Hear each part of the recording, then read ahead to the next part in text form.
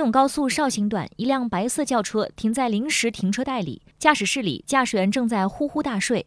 民警试图把驾驶员叫醒，喊了好几次，驾驶员才缓缓抬起了头。从哪里过来的？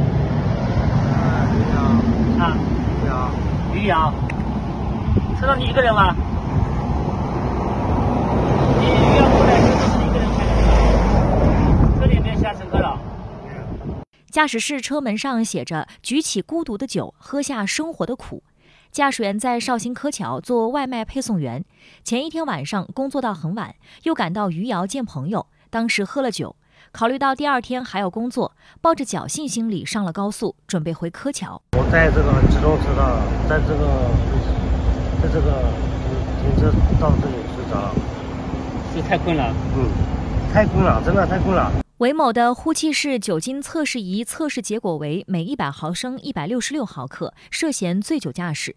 目前案件还在进一步处理中。幺八幺八黄金眼综合报道。